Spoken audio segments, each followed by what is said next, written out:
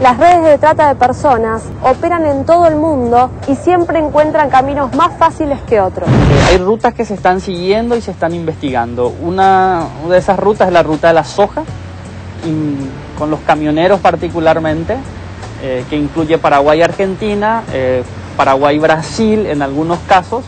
Recordemos que el territorio paraguayo es un solo territorio agrícola con el Brasil en cuanto a la producción de la soja y hay transportes eh, a través de camiones que se enlazan con barcos y se ha identificado puntos en donde hay paradas de camiones donde hay una gran recepción de niñas que son utilizadas para la explotación y la trata como un primer paso y luego ya con destino final eh, generalmente alguna de las ciudades argentinas y en algunos casos en menor medida de las menores en España en Argentina por la facilidad de paso. Eh, se hablaba en la República Argentina de Córdoba, se habla de la zona de la zona de, de Buenos Aires, de la provincia de Buenos Aires, ¿verdad?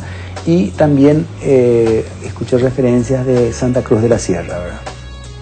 Bueno, eh, ¿cómo en, en, España, Madrid, ¿verdad? En España, Madrid es uno de los lugares en donde mucha gente tiene ese destino.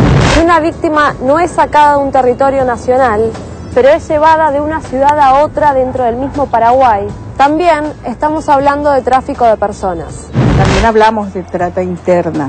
Nosotros hablamos solamente de la trata internacional, pero la trata interna también existe y existe en el país de ustedes, existe en el nuestro y en cualquier lugar del mundo. Tenemos eh, nosotros en Paraguay mucha, mucha afluencia de mujeres jóvenes y niñas y adolescentes del interior y surge la otra problemática, que es el criadazgo, donde vienen las niñas a trabajar, pero son tomadas prácticamente este, de esclavas en muchos hogares. Entonces yo como vecina veo que esa niña o esa adolescente es víctima de abusos sexuales u otro tipo de cuestiones, incluso se arman a veces eh, redes internas de trata interna, que esa es otra realidad también.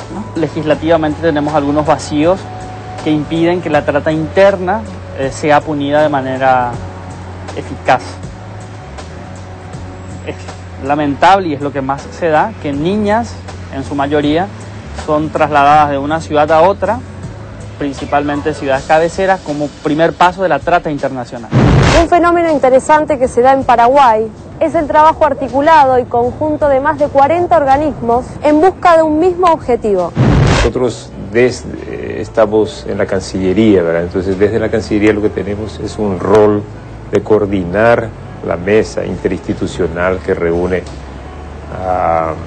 alrededor de 40 instituciones, las cuales muchas del sector oficial y otras de la sociedad civil y también organismos internacionales y eh, embajadas que, prestan, digamos, su cooperación a esta mesa.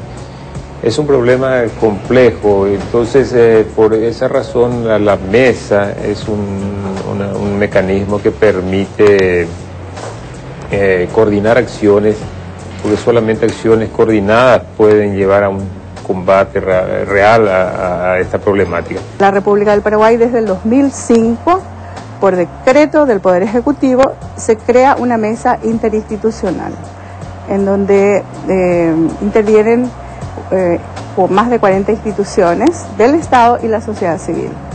Esa es una articulación que está coordinada por el Ministerio de Relaciones Exteriores y cada institución tiene su misión y su rol.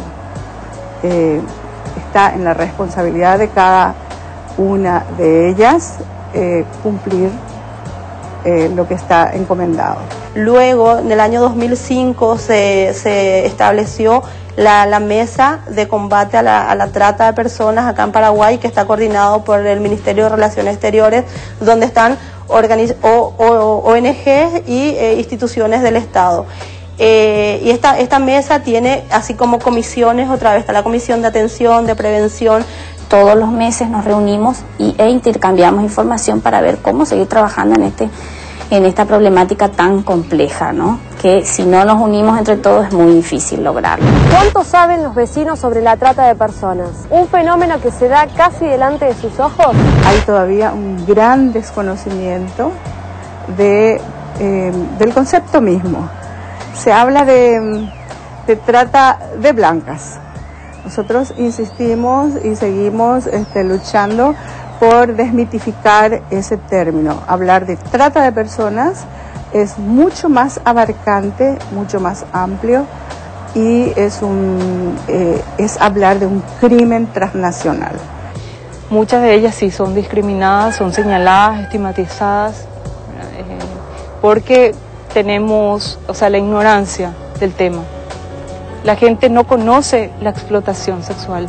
La gente directamente discrimina a una mujer diciendo que es prostituta. Claro, lo toman como si eh, fuera un trabajo de esa persona. Claro, claro, claro. Y que lo hace por gusto, sin tener en cuenta muchas, muchos otros factores que hacen que esa niña ya sea utilizada o sea sometida a esa situación de explotación. Lo uno puede tener en su barrio, por decirte, un motel, pero no funciona como motel. Y si yo viera algo raro, o que entra alguna camioneta toda este, negra, como se me ocupar ahora, toda polarizada, donde no se ve nada, y bajan varios chicas, o qué sé yo, ya llama la atención. O si es una casa de masajes que está ubicado dentro de mi barrio y veo algo raro, yo como ciudadano tengo el deber de ir y denunciar.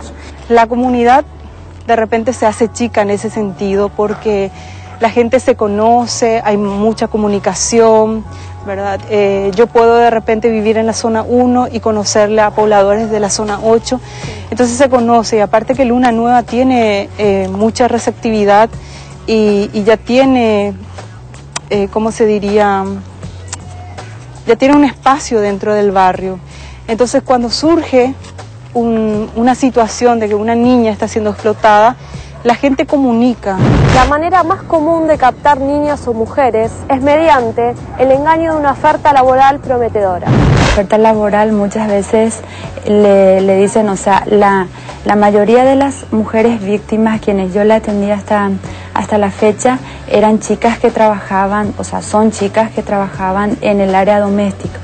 Entonces, acá las, acá las chicas que trabajan en el servicio doméstico no perciben un buen salario.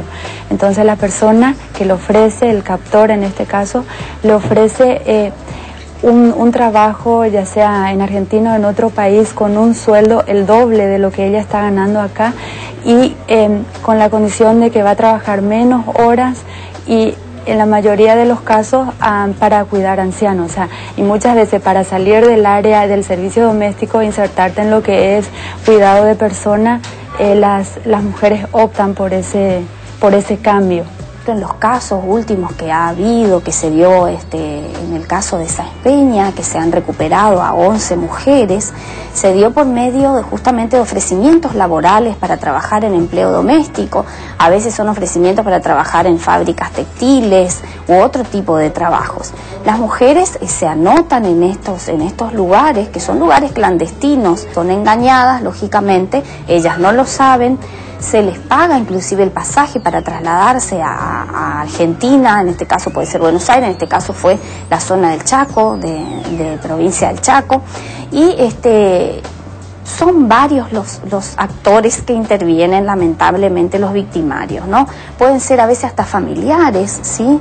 Que son este, oprimidos de alguna manera, presionados, se montan este tipo de agencias, las mujeres van, se inscriben, son trasladadas, allá son captadas y llevadas a estos moteles donde lógicamente sufren, sufren todo tipo de explotaciones. En el caso de que sea laboral, también van a lugares, fábricas y demás, no se les paga, se las maltrata, hasta pueden ser víctimas de abuso sexual por los patrones, aprovechando que muchas veces se les quitan la documentación, no tienen ellas información a dónde acudir, por eso los municipios trabajan mucho en prevención, sensibilización y en entrega de materiales con teléfonos, tanto en aeropuertos como en las terminales. Y generalmente las ofertas son eh, de, mejor paga eh, en los trabajos y en, trabajos que ya están comprometidos. Eh, hay trabajo de mesera, hay trabajo de dama de compañía, hay trabajos incluso eh, de otro nivel, de enfermería o de,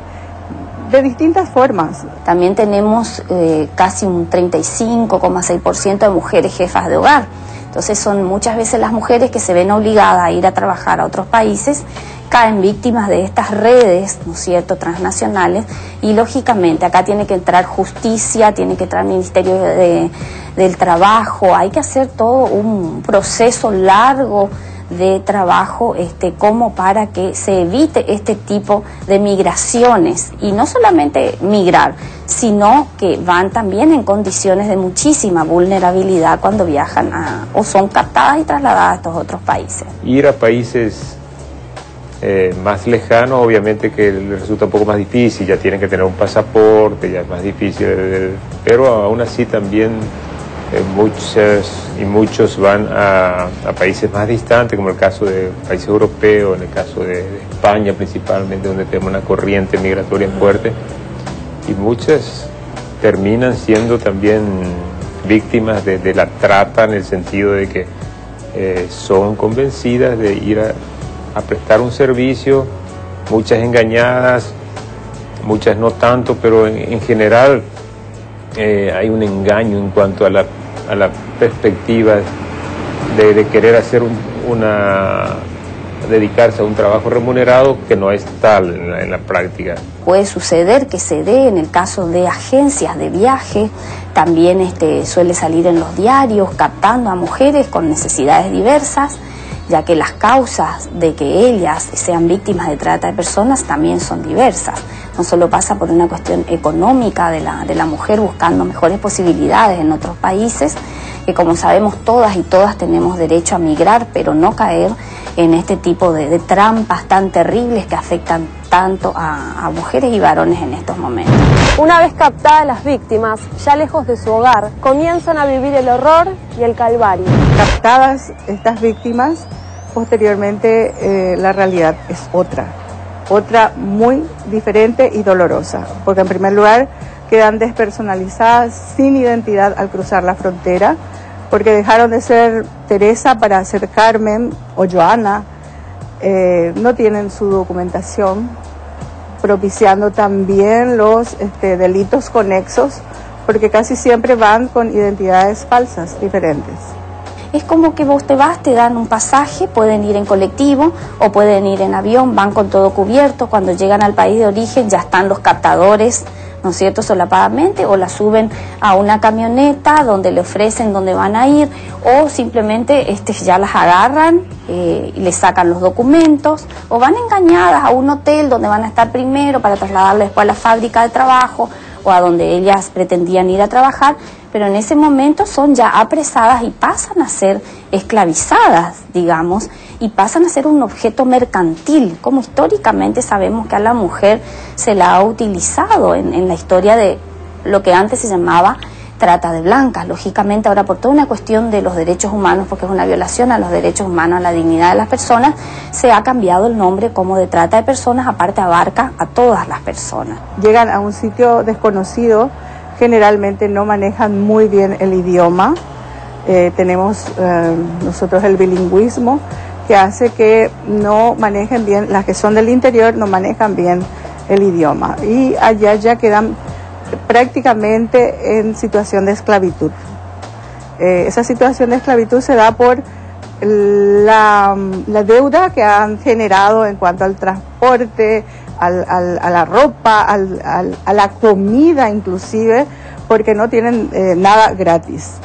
Y van en una situación de endeudamiento cada vez mm, más fuerte y que es uno de los primeros factores y posteriormente ya sin comunicación y generalmente violadas, golpeadas, dejadas de inicio, esa es la situación. Y está el tema del trabajo por deuda, que generalmente se, aplica en estos casos cuando son engañados por el costo de, un viaje de ese tipo que implica y el costo de la, de la vivienda, en el caso en España, por ejemplo. Y eso hace que las víctimas adquieran ah, una supuesta deuda generalmente sobredimensionada que le impide salir de ella. Hemos tenido el caso de unas hermanas que fueron, eh, digamos, tratadas hasta San Pablo por una persona y esa persona eh, las entrega a ciudadanos coreanos en matrimonio servil. Ellas no sabían que estaban firmando un documento en idioma en idioma extranjero que creían que era un contrato de trabajo y la realidad es que ellas estaban firmando un contrato de matrimonio. Ellas fueron llevadas a Corea em, maltratadas como seres, no sé, ya ni seres humanos, ¿verdad? Como animales. Ellas fueron rescatadas con apoyo de nuestra embajada, las trajimos, una de ellas eh, embarazada había perdido su bebé, la otra tuvo su bebé acá en el refugio y esta señora eh, inclusive tiene eh, el cráneo golpeado y ella tiene permanentes situaciones de crisis. Aunque queramos decir que la estamos apoyando, son difíciles las secuelas de borrarlas, no hay forma.